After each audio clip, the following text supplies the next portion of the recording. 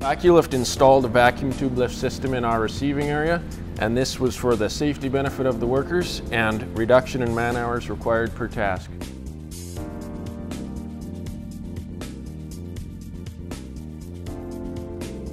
We want to make sure that uh, our workers are able to work safely and uh, efficiently.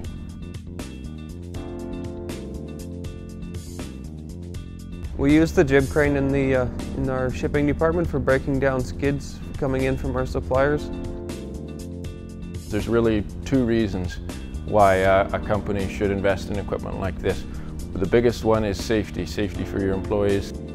The second point is that uh, you can justify the costs of it in saved time.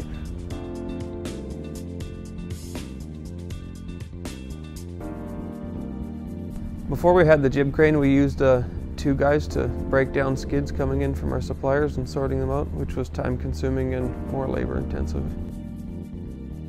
This system makes it very easy for one person to uh, easily handle these boxes.